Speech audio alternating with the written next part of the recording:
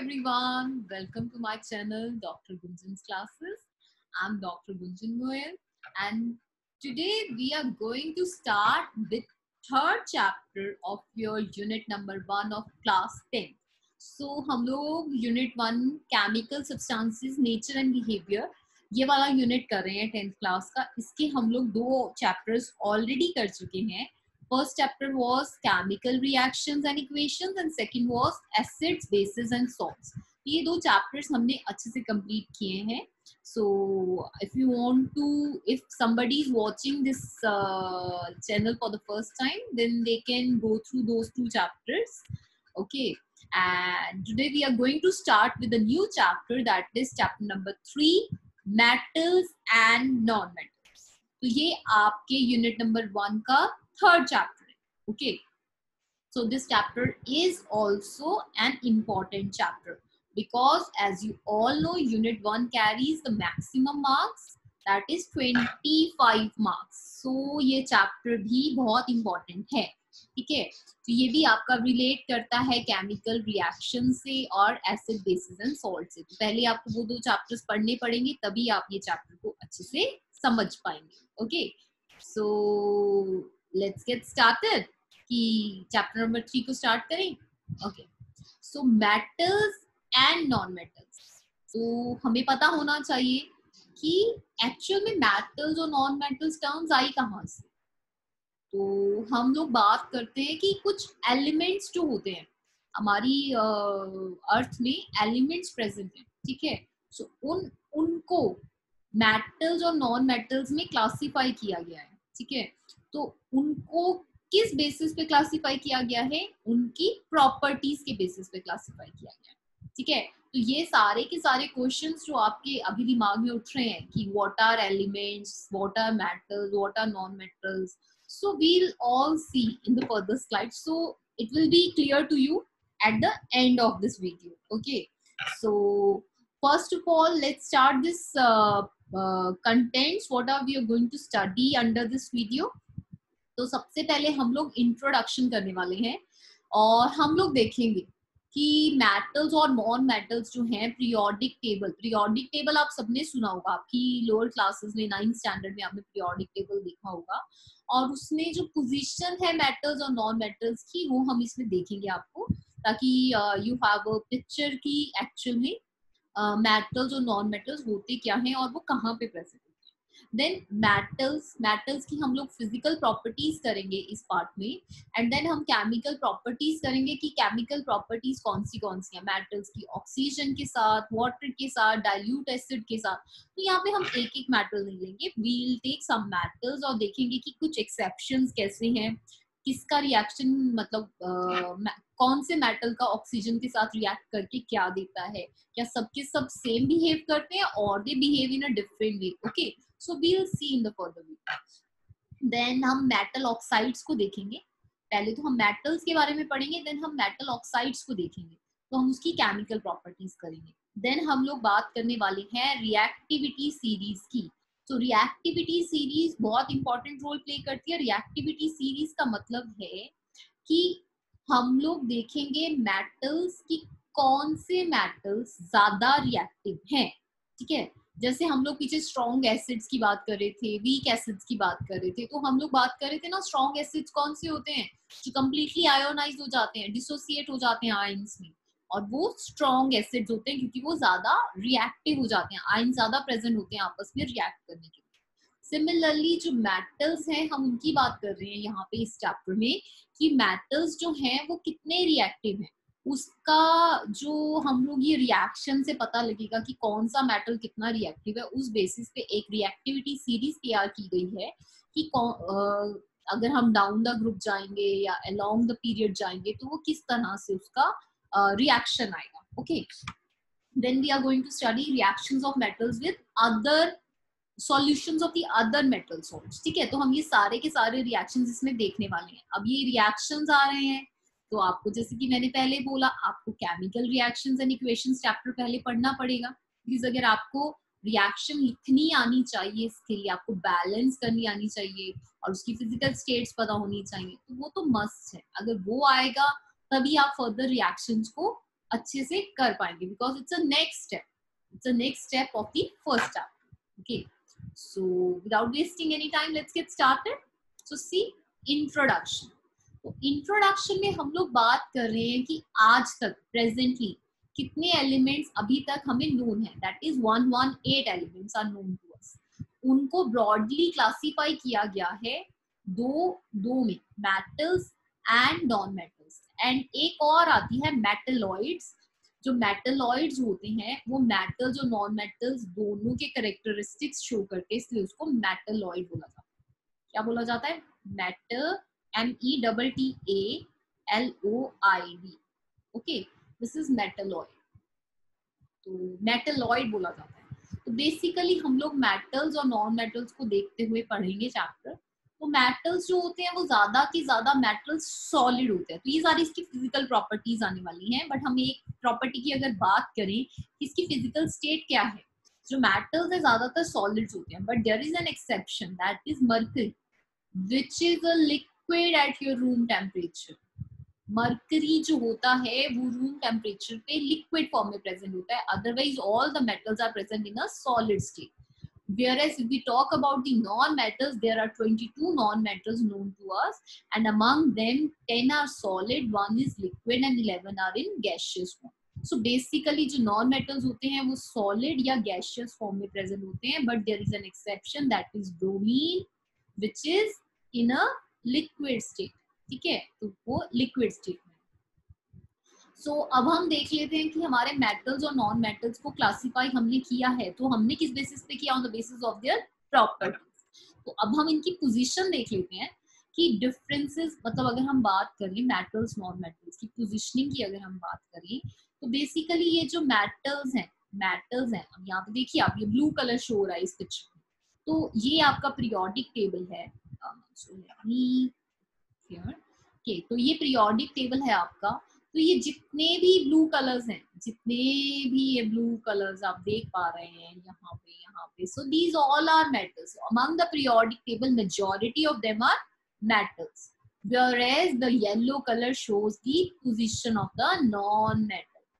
Position of non-metal. whereas this green color that shows the position of metalloid so metalloid is a term that is used for the uh, these uh, elements which shows the character of both metals as well as non-metals. But here you can see कि left hand side पे जितने भी हमारे ये present हैं तकरीबन सारे के सारे metals हैं. But there is one exception. You can see here this Yellow color hydrogen which is a non-metal but is present on the left hand side of the periodic table Whereas you can see all of the elements which are present on the like right hand side of the table of the periodic table they are non-metals and which is present in zigzag line zigzag line so these are metalloids क्या है ये metalloids so आप यहाँ पे देख लीजिए कि यही सेम चीज़ यहाँ पे मैंने लिखी हुई है कि the left hand side of the periodic table and in the centre of the periodic table majority of them are metals but there is an exception that is hydrogen which is a non metal but is present on the left hand side where is the zigzag line zigzag line this shows a metalloids जो metals और non metals दोनों की property को show करते हैं। ठीक है? So their examples are written boron silicon germanium arsenic and antimony so, you should know the name of the elements and their symbols. Okay? So, these are the symbols. So, metallic character जो है, वो इन्होंने एक general बता रखा है scenario कि जब वो हम लेफ़्ट से राइट right की तरफ़ जाते हैं या जब हम लेफ़्ट से राइट right की तरफ़ जाते हैं ठीक है तो मेटालिक करेक्टर तो डिक्रीज कर रहा है as we all know because metals से नॉन मेटल्स की तरफ़ कन्वर्जन हो रही है। पर जब हम ऊपर से नीचे की तरफ़ आते हैं that increases so that increases from then we move from top to bottom तो मेटालिक करेक्टर इसका ज़्यादा होगा, इसके कंपेरिजन में। But if we move from here to here ये ज़्यादा मेटेलिक है as compare to this right so this is about the position of the metals and non metals in the periodic table. Now let's talk about the metals. Metals hote kya hai so metals एक ऐसे elements हैं जो कि heat और electricity को conduct करते हैं, ठीक है? अगर आप इसकी डेफिनेशन देखिए which are good conductors of heat and electricity those are metals they are malleable and ductile so these terms will come in the next slide जिसमें हम फ़िज़िकल प्रॉपर्टीज़ बताएँगे कि मेलिएबल और डक्टिलिटी क्या होती है। This is a very important तो ये आप अपनी एग्ज़ाम्पल में भी देख सकते हैं। So I will come to this point in the next slide so let's see की मेटल्स एक और प्रॉपर्टी शो करते हैं. They form positive ions by losing electrons metal ऐसे एलिमेंट्स हैं जो कि अपने इलेक्ट्रॉन्स को लूज करते हैं and they form positive ions इनको इलेक्ट्रो पॉजिटिव एलिमेंट्स कहा जाता है. So sometimes a question arises what are electropositive elements so those are metals why they are called as electropositive elements because they form positive ions by losing an electron okay or some of their examples you can write because left hand side के periodic table पे बहुत सारे center में भी हमने बहुत सारे metals देखे so you can write all these metals right and you should know their uh, uh, symbol as well as their name. Okay. Then let's come to the physical properties of the metals. So if we talk about the physical properties of the metals, there are about 10 physical properties known to us or we have uh, like uh, discovered or we have studied 10 properties basically. The first one is hardness.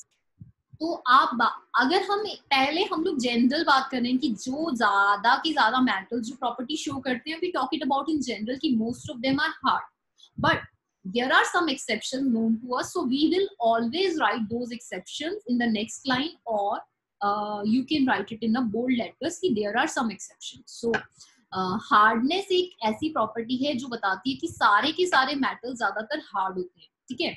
But कुछ metals जैसे कि sodium potassium lithium ये कुछ ऐसे elements हैं ऐसे metals हैं जो कि सॉफ्ट मेटल्स हैं इनको आप नाइफ से भी कट कर सकते हैं। So these are exception second property is strength ये बहुत स्ट्रांग होते हैं इनकी हाई टेंसाइल स्ट्रेंथ होती है। हाई टेंसाइल स्ट्रेंथ मतलब इतने स्ट्रांग होते हैं कि मतलब they can not be like hard भी ऑलमोस्ट स्ट्रेंथ इनकी इतनी ज़्यादा है, आप इनको खींच भी सकते हैं। यू कैन जैसे आप गोल्ड देखिए।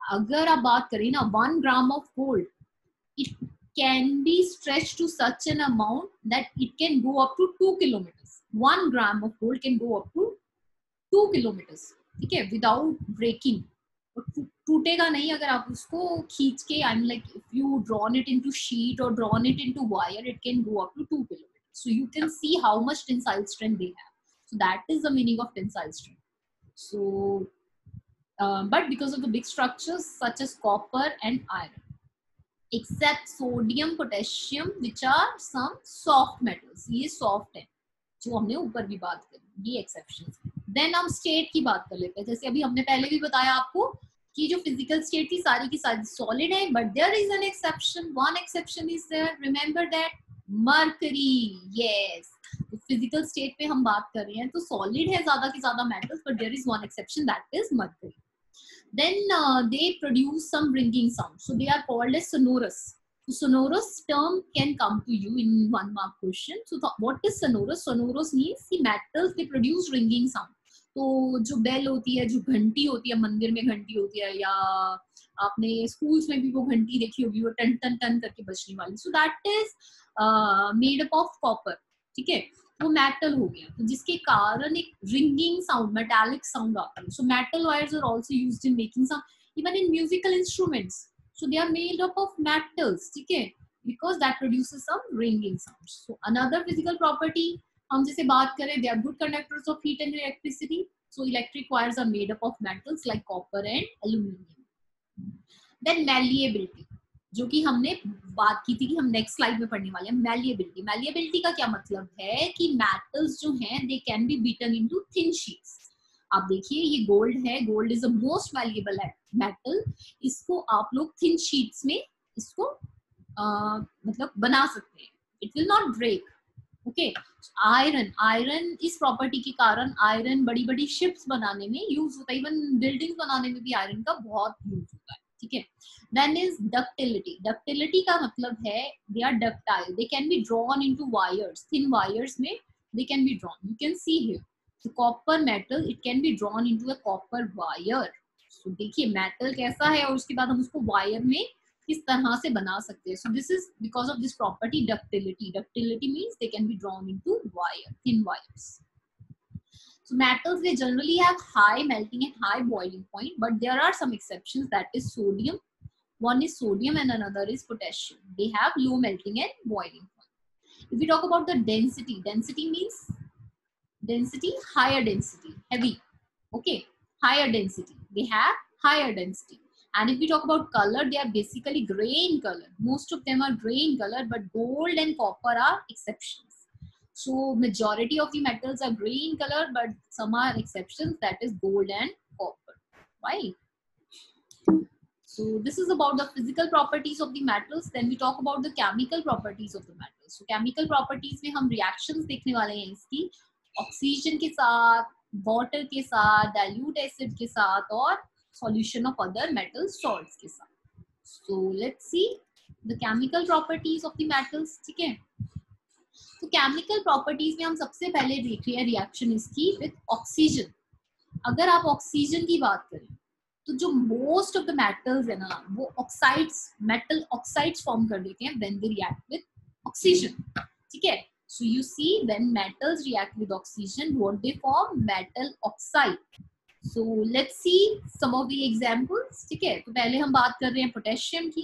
तो पोटेशियम जब ऑक्सीजन के साथ रिएक्ट करता है तो क्या बना देता है? Potassium oxide what does it form potassium oxide so, see, this is a reaction where it is balanced. So, you should know how to write a balanced okay, equation. Reaction of potassium but आपको ये भी पता होना चाहिए कि क्या बनेगा। तो हम बात करें मेटल जब ऑक्सीजन के साथ रिएक्ट करते हैं तो उसका ऑक्साइड बना देते हैं। सो पोटेशियम ऑक्साइड जो होगा उसका फॉर्मूला ये है so don't alter the formula because it will change the sense of the sentence okay Then is another example, another metal we are taking sodium. When sodium will react with water, it forms sodium oxide. ठीक है और जो lithium potassium sodium है they are alkali metals तो जो periodic table की जो first line होती है दैट इज़ अल्कली मेटल्स जो सेकंड लाइन है हाइड्रोजन वाली except hydrogen because hydrogen is a non metal but I am talking about की हाइड्रोजन वाली जो फ़र्स्ट लाइन है वो अल्कली मेटल्स बोला जाता है जो उसकी सेकेंड लाइन है that is alkaline earth metals बोला वो जब हम लोग next chapter next next chapter आपकी इसमें करेंगे पीरियोडिक टेबल के बारे में अच्छे से तो उसमें आपको सारी टर्मिनोलॉजी क्लियर हो जाएगी। सो डोंट वरी सो यहाँ पे आप ये देख सकते हैं कि they are called as alkali metals alkali metals vigorously react करते हैं ऑक्सीजन के साथ। सो so, हमारा कहने का क्या मतलब है? कि जो मेटल्स के साथ ऑक्सीजन है बहुत अच्छे से रिएक्ट करके उसका ऑक्साइड बना देते हैं, ठीक है? देन इज़ की आप कॉपर एक अनदर एग्जांपल ले लीजिए कॉपर सो ये एक एक्सेप्शन हो गया। ये रूम टेम्परेचर पे रूम टेम्परेचर पे ऑक्सीजन के साथ रिएक्ट नहीं करता।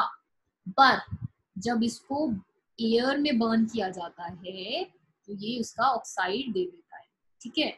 It reacts with oxygen in only in the presence of the air ठीक है? But it does not react at room temperature with oxygen ठीक है? ऐसा नहीं है कॉपर पड़ा हुआ है रूम टेम्परेचर पे वो रिएक्ट करके उसका ऑक्साइड बना देगा। इट्स नॉट लाइक दैट है ना?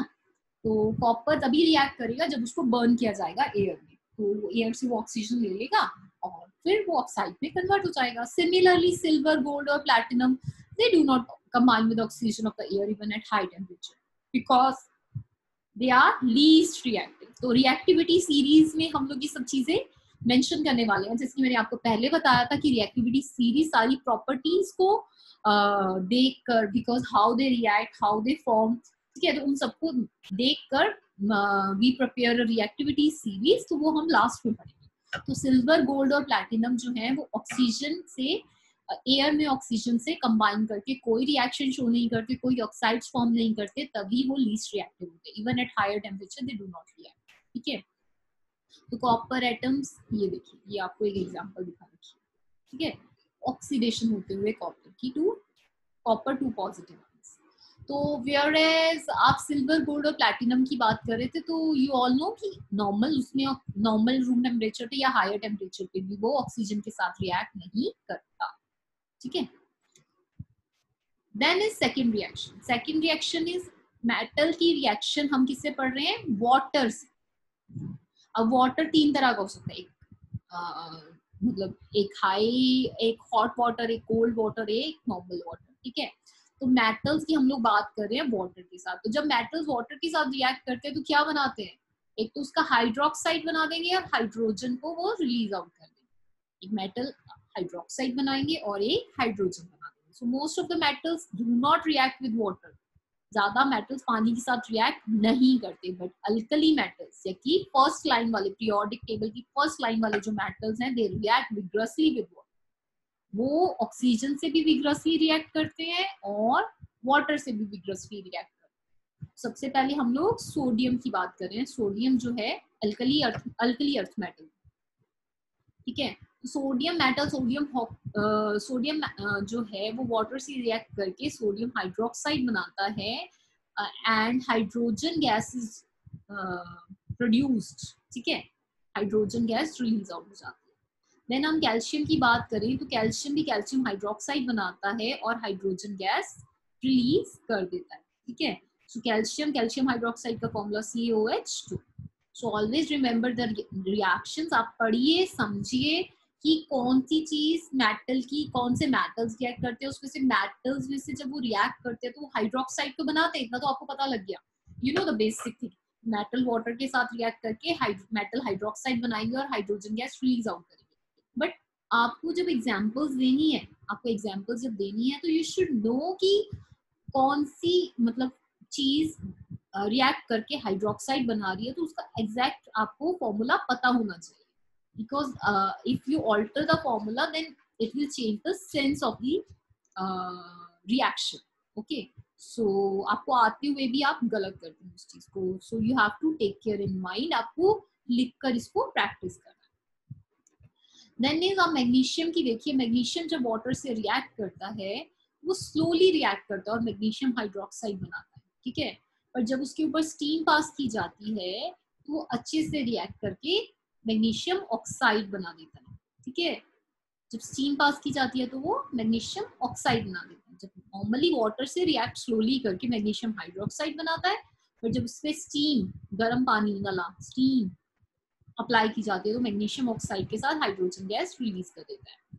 देन अगर आप रिएक्शन करें इसकी aluminium metal with water aluminium की जब आप बात करेंगे तो वो कोल्ड वाटर से बहुत स्लोली रिएक्ट करता है कि आपको लगता ही नहीं कि कोई रिएक्शन हुई है। बट जब स्टीम पास की जाती है व्हेन स्टीम इज़ पास तो एल्यूमिनियम ऑक्साइड बना देता है और हाइड्रोजन गैस रिलीज़ कर देता है। Whereas if we talk about zinc अगर आप जिंक की बात करें तो वो जिंक ऑक्साइड बनाता है और हाइड्रोजन गैस रिलीज़ आउट कर देता है, पर जब वो स्टीम वाटर स्टीम पास की जाती है, ठीक है? वो कोल्ड वाटर से रिएक्ट नहीं करता। तो ये भी आपको ध्यान रखना है कि कौन सी चीज़ स्टीम से रिएक्ट कर रही है और कौन सी नॉर्मल वाटर से रिएक्ट ठीक है? सो so, अगर अब हम आयरन की बात करें तो कोल्ड वाटर के साथ रिएक्शन बहुत स्लो होती है तो पता ही नहीं चलता ठीक है? सो आयरन फॉर्म रस्ट करता है with moisture present in the atmosphere वो रस्ट आपको पता ही है कि आयरन के ऊपर धीरे धीरे पान मतलब मॉइस्चर से धीरे धीरे वो अपनी ऑक्साइड फॉर्म में आ जाता है। तो ऑक्साइड फॉर्म कौन सी होती है कि रस्ट जम जाती है। तो आप सबने देखा होगा कि कोई भी आयरन नेल अगर ज़्यादा टाइम के लिए आपके घर में पड़ी रह जाए तो उसके ऊपर कुछ ब्राउन सा कलर का आता था, उस, उसी चीज़ को रस्ट बोला जाता ठीक है? So this is the reaction iron water से रिएक्ट करके रस्ट फॉर्म कर देन कैल्शियम एंड मैग्नीशियम पानी से हैवी है। ये रिएक्टिविटी का हिसाब हो। गया जब वो पानी से हैवी है, पर फिर भी पानी के ऊपर फ्लोट करते हैं। How how this question comes this is an important question both calcium and magnesium are heavier than water but still they float over it why because because hydrogen gas is evolved when the metals react with water तो जब ये पानी के साथ react करती हैं तो hydrogen gas evolve होती है जिसके कारण वो बबल्स की फॉर्म में मतलब it is in the form of bubbles जो मेटल के सरफेस पे स्टिक कर जाते हैं और वो ऊपर पा, पानी के फ्लोट करते हैं ठीक है So you can give this reaction as well. Okay. So this question is important. Then lead, copper, silver and gold, they do not react with steam. Okay. Do not react with steam. Other metals usually do not react with water or react very slowly, but alkali metals हैं जो पानी के साथ react हैं. Then अगर आप reactivity series की बात करें towards the water, ये रिएक्टिविटी सीरीज़ सबके लिए सेम नहीं है but it is towards the water see the towards the water किस तरह से जब ये इस इस साइड पे जा रहे हैं तो किस तरह से जो रिएक्टिविटी है वो डिक्रीज हो रही है। बिकॉज़ ये साइन इस साइड है। देन पोटेशियम इज़ रिएक्टिव ज़्यादा रिएक्टिव है सोडियम से। सोडियम ज़्यादा रिएक्टिव है कैल्शियम से। तो इस तरह से रिएक्टिविटी कम हो रही है। Silver copper copper silver gold जो है ये लीस्ट रिएक्टिव है। When it comes to with reaction with the water तो अभी तक हमने दो रिएक्शन पढ़ ली, पानी ऑक्सीजन के साथ एंड देन पानी के साथ। अब हम थर्ड रिएक्शन पढ़ रहे हैं reaction of metals with dilute acid जब मेटल्स डाइल्यूट एसिड के साथ रिएक्ट करते हैं what they form they form metal salt as well as hydrogen gases release सबसे पहले हम लोग सोडियम मेटल की बात कर लेते हैं। जब सोडियम हाइड्रोक्लोराइड के साथ रिएक्ट करता है, ठीक है?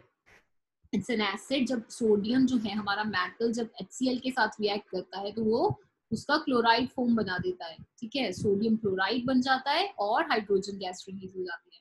सिमिलरली जब मैग्नीशियम रिएक्ट करता है तो मैग्नीशियम क्लोराइड और हाइड्रोजन गैस रिलीज़ कर देता है ठीक है? This reaction you can see magnesium when react with HCl it forms MgCl2 plus H2 gases released out okay?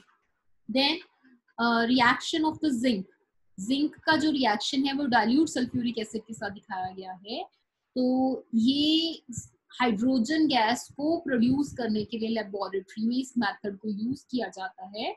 Zinc जब H2SO4 के साथ रिएक्ट करता है तो उसको डिस्प्लेस कर देता है हाइड्रोजन को और खुद जाके लग जाता है हाइड्रोजन की प्लेस पे और जिंक सल्फेट बना देता है whereas hydrogen gas is released okay so this is also method used to produce hydrogen gas in the laboratory okay then हम बात कर रहे हैं कि हाइड्रोजन गैस तब इवॉल्व नहीं होती जब मेटल नाइट्रिक एसिड के साथ रिएक्ट हाइड्रोजन गैस HCl के साथ रिलीज़ होती है H2SO4 के साथ रिलीज़ होती है but nitric oxide nitric acid के साथ रिलीज़ नहीं होती। A big cross with nitric acid and why it is so so this question can come because direct questions के साथ साथ आपको इनडायरेक्ट क्वेश्चंस भी आने चाहिए। But you should know answer will be same, but you know how to write it. So, there is a trick. तो hydrogen gas evolve क्यों नहीं होती जब नाइट्रिक एसिड के साथ मेटल ट्रीट किया जाता है? Because nitric acid is a strong oxidising agent oxidising agent हमने लास्ट चैप्टर में पढ़े थे। कौन से होते हैं? जो दूसरे को ऑक्सीडाइज करें और खुद रिड्यूस हो जाए। तो नाइट्रिक एसिड एक स्ट्रॉन्ग ऑक्सीडाइजिंग एजेंट है तो वो ऑक्सीडाइज कर देता है हाइड्रोजन गैस को। जो कि वाटर फॉर्म कर देती है और खुद वो रिड्यूस होके कुछ नाइट्रोजन के ऑक्साइड्स बन जाते हैं, जैसे नाइट्रस ऑक्साइड नाइट्रिक ऑक्साइड और नाइट्रोजन डाइऑक्साइड ठीक है? स्ट्रॉन्ग ऑक्सीडाइजिंग एजेंट है। ऑक्सीडाइजिंग एजेंट मतलब वो दूसरे को ऑक्सीडाइज करेगा और खुद रिड्यूस हो जाएगा। दूसरे को ऑक्सीडाइज करेगा, यानी कि हाइड्रोजन को वो ऑक्सीडाइज करके वाटर बना देगा, खुद रिड्यूस हो जाएगा अपनी ऑक्साइड फॉर्म्स में। ठीक है? और कॉपर गोल्ड और सिल्वर नोबल मेटल्स हैं, वो पानी के साथ या डाइल्यूट एसिड के साथ रिएक्ट नहीं करते। तो अगर आप टूवर्ड्स एच और सल्फ्यूरिक एसिड के साथ रिएक्टिविटी सीरीज़ देखें तो ये रिएक्टिविटी सीरीज़ है। सो यू कैन सी सबसे ज़्यादा रिएक्टिव हमारा पोटेशियम है देन सोडियम है देन कैल्शियम है और लीस्ट रिएक्टिव हमारे सिल्वर और गोल्ड रहते हैं। ठीक है? कॉपर सिल्वर और gold okay okay. Then comes the metal oxides तो मेटल ऑक्साइड्स में अब हम, अभी तक हमने मेटल की सारी की सारी रिएक्शन पढ़ ली ऑक्सीजन के साथ वाटर के साथ एंड एसिड्स के साथ, ठीक है? अब हम मेटल ऑक्साइड्स की केमिकल प्रॉपर्टीज़ पढ़ेंगे। सो उसमें हम देखने वाले हैं, पहली है हमारी reaction with water then metal oxides की sodium oxide with water potassium oxide with water zinc oxide and aluminium oxide की आपस में रिएक्शन देखेंगे। देन हम इन सबकी रिएक्टिविटी सीरीज़ देखेंगे कौन सा ज़्यादा रिएक्टिव और कौन सा come reactivity. So, let's see. First is chemical properties of the metal oxide. तो मेटल ऑक्साइड्स मेटल ऑक्साइड ज़्यादातर बेसिक नेचर के होते हैं, ठीक है बेसिक नेचर के होते हैं तो बेसिक नेचर वाले क्या करते थे लिटमस सॉल्यूशन को कैसे, किसमें, कौन से कलर से, कौन से कलर में चेंज करते थे do remember you remember in the last chapter we started about the basicity कि अगर हमें किसी एलिमेंट की बेसिसिटी को चेक करना है then we will use litmus solution तो वो कौन से कलर को, कौन से कलर में चेंज करते हैं? रेड को ब्लू में। So they are basically basic in nature metal oxides तो अगर वो खुद बेसिक हैं, जब वो पानी के साथ रिएक्ट करेंगे, ठीक है तो they are generally insoluble in ज़्यादातर मेटल ऑक्साइड्स इनसॉल्युबल रहते हैं, यानी कि वो पानी में डिजोल्व नहीं होते। जबकि alkali metals oxy alkali metals खुद भी पानी से बहुत अच्छे से रिएक्ट करते थे ऑक्सीजन से बहुत अच्छे से रिएक्ट करते थे, ठीक है? और उसके ऑक्साइड्स भी उतने ही सॉल्युबल हैं पानी में, ठीक है? Because alkali metal oxides give strong base when dissolve in water तो अब अब हम अल्कली मेटल के ऑक्साइड्स की बात करेंगे। पहला अल्कली मेटल ऑक्साइड कौन सा है? सोडियम ऑक्साइड जब सोडियम ऑक्साइड वाटर से रिएक्ट करता है तो वो क्या बना देता है? Sodium hydroxide. सोडियम हाइड्रोक्साइड बना देता है। अब जबकि पोटेशियम ऑक्साइड भी एक अल्कली मेटल है। अल्कली मेटल का ही ऑक्साइड है। पोटेशियम एक अल्कली मेटल है। अल्कली मेटल का ऑक्साइड हो गया हमारा पोटेशियम ऑक्साइड। के जब इसको पानी से रिएक्ट करते हैं तो ये पोटेशियम हाइड्रोक्साइड बना देता है। तो हमेशा याद करिए, जो अल्कली मेटल्स हैं, वो ज़्यादा की ज़्यादा रिएक्टिव है। वो ऑक्सीजन से भी रिएक्ट करते हैं वाटर से भी रिएक्ट करते हैं और अल्कली मेटल के ऑक्साइड्स भी हैं जो, वो भी रिएक्ट करते हैं पानी से। ठीक है? देन अगर हम बात करें यहाँ पे जिंक ऑक्साइड्स और एल्यूमिनियम ऑक्साइड्स की, जो ये सारे के सारे इनसॉल्युबल रहते हैं पानी में। ठीक है? और जिंक ऑक्साइड्स जो एल्यूमिनियम ऑक्साइड्स होते हैं, वो एम्पोटेरिक इन नेचर होते हैं। एम्फोटेरिक की नेचर मतलब जिसमें एसिड और बेस दोनों के करेक्टर्स ठीक है? जब वो बेस से रिएक्ट करते हैं तो वो एसिड की तरह बन जाते हैं, जब वो एसिड से रिएक्ट करते हैं तो वो बेस की तरह बन जाते हैं, ठीक है? तो हम बात कर लेते हैं अब जिंक ऑक्साइड्स की। हमने दो एम्फोटेरिक सब्सटेंस पढ़े जिंक ऑक्साइड और एल्यूमिनियम ऑक्साइड तो पहले हम लोग जिंक ऑक्साइड की बात कर लेते हैं। जब जिंक ऑक्साइड सोडियम हाइड्रोक्साइड के साथ रिएक्ट करेगा सोडियम हाइड्रोक्साइड एक बेस हो गया। तो अब जिंक ऑक्साइड एक एम्फोटेरिक सब्सटेंस है। एम्फोटेरिक सब्सटेंस जो एसिड और बेस दोनों के करेक्टर्स रखता है और दोनों की तरह बिहेव करता है ठीक है? तो जब जिंक ऑक्साइड एक बेस यानी कि सोडियम हाइड्रोक्साइड के साथ रिएक्ट करेगा तो जिंक ऑक्साइड किस तरह से आ, मतलब किस तरह से करेक्टर शो करेगा? ऑब्वियसली एसिड की तरह क्योंकि बेस से रिएक्ट करने के लिए तो उसको एसिड बनना ही पड़ेगा ना। जब एसिड और बेस आपस में रिएक्ट करते हैं तो ऑब्वियसली एक सॉल्ट फॉर्म होगा दैट इज़ सोडियम जिंकेट और वाटर रिलीज़ आउट होगा। ये एक न्यूट्रलाइजेशन रिएक्शन की तरह हो गया। क्योंकि एक एसिड एक बेस के साथ रिएक्ट करके एक सॉल्ट बना रहा है वाटर रिलीज़ कर रहा है। So it is neutralisation reaction जो हम लोग पहले भी पढ़ते आए हैं। That is important reaction always remember that reaction similarly अगर आप जिंक ऑक्साइड एक एसिड से रिएक्ट करवाएँगे एसिड आ गया HCl HCl is an acid अब जिंक ऑक्साइड किसकी तरह बिहेव करेगा? अब वो एसिड है एसिड की तरह तो बिहेव नहीं कर सकता तो क्या रिएक्शन होगी एसिड की आपस में एसिड के साथ? It has to behave like base ठीक है? So it will react with acid as a base and they both will form ZnCl2 that is a salt, zinc chloride, right? And water is released. Similarly, जब हम aluminium oxide की बात कर रहे हैं, जो कि खुद भी एक एम्फोटेरिक सब्सटेंस है, जो बेस के साथ एसिड की तरह बिहेव करेगा एसिड के साथ बेस की तरह बिहेव करेगा। देख लीजिए, जब वो बेस के साथ रिएक्ट करा तो ये एसिड बन गया और इसने सॉल्ट बना दिया, ये वाला, है ना? तो जब वो एसिड के साथ रिएक्ट करा तो वो बेस बन गया तो उसने सॉल्ट बना दिया, ये वाला और वाटर तो सब में रिलीज़ हो रहा है, ठीक है? सो रिएक्शंस को याद कीजिए। याद मतलब don't cram the reactions, obviously you have to write it down, you have to understand the concept, then you have to write it down on the paper okay and keep on recalling it keep on understanding it and then uh, आप उससे familiar हो जाएँगे एक दो बार करने से आप familiar हो जाएँगे तीन चार बार करने से आपको ये आपके ब्रेन में सेट हो जाएगा ओके okay? आप खाली देख लेंगे तो ऐसा है आपको एक बार समझ में आ जाएगा but it will not retain you so for retaining it for longer time to write it down in an exam and for better understanding you have to practice okay then is the reactivity series अब हम reactivity series की बात करें तो order of reactivity जो होती है metal की जो ऑर्डर ऑफ़ रिएक्टिविटी है, उस चीज़ को रिएक्टिविटी सीरीज़ कहा जाता है कि वो कितने इंटेंस है, कितने रिएक्टिव है, ठीक है?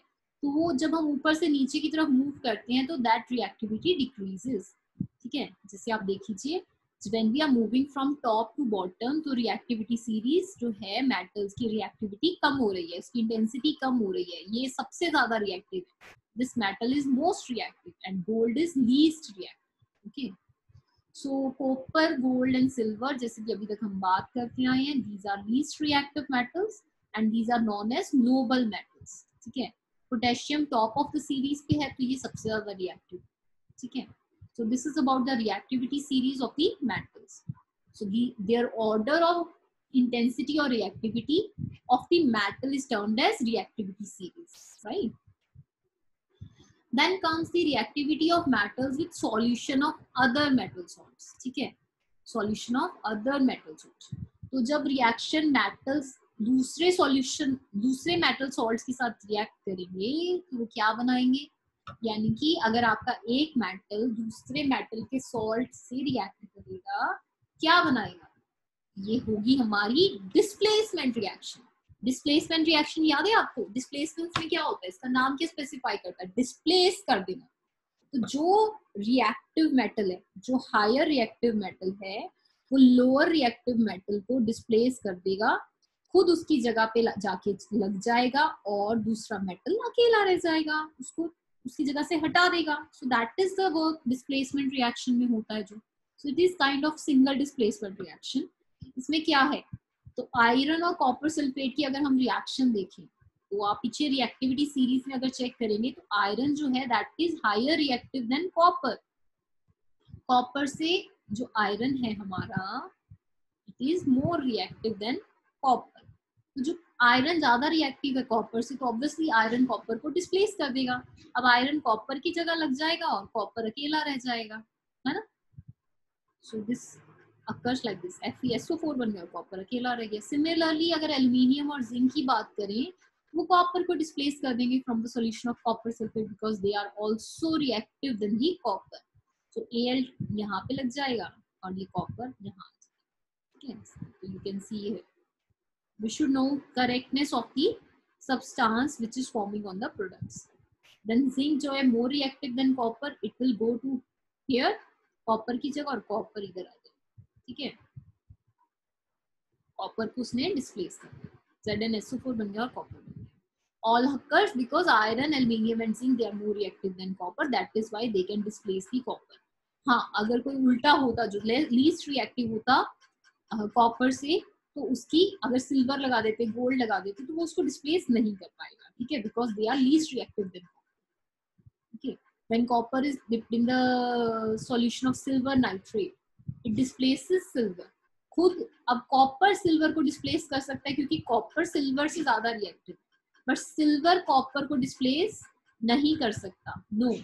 Because silver is less reactive than copper gold भी कॉपर को डिस्प्लेस नहीं कर सकता because gold is less reactive than copper तो कोई रिएक्शन नहीं हुआ। इवन जो एल्यूमिनियम है, वो जो कॉपर है, वो एल्यूमिनियम को डिस्प्लेस नहीं कर सकता because they are copper is least reactive than aluminium तो उनमें रिएक्शन नहीं होती। जिसमें जो ज़्यादा रिएक्टिव है, वो ही दूसरे को डिस्प्लेस कर सकता है, जो कि हमने डिस्प्लेसमेंट रिएक्शन में भी पढ़ा था। और ये रिएक्टिविटी सीरीज़ आप देख चुके हैं तो उसके अकॉर्डिंगली जो ज़्यादा रिएक्टिव है, वो दूसरे मेटल को डिस्प्लेस करके उसकी जगह लग जाता है, ठीक है? So that is a displacement reaction so this is the topic one जो हमने अभी पार्ट में कर लिया कवर अब हम बात करेंगे नेक्स्ट वीडियो में नॉन मेटल्स के बारे में। उसकी फ़िज़िकल प्रॉपर्टीज़ केमिकल प्रॉपर्टीज़ उनकी रिएक्शन सारी की सारी हम लोग देखने वाले so I hope this part is clear with you thank you guys. And if you are having any doubts you know what to do. Feel free to contact me. Okay i'll answer your queries. And and if you like this video then please press the like button and don't forget to share this uh, video with your friends and subscribe my channel. And by pressing the bell icon. So so that all you can get notifications about the further videos. Thank you. Bye bye till then take care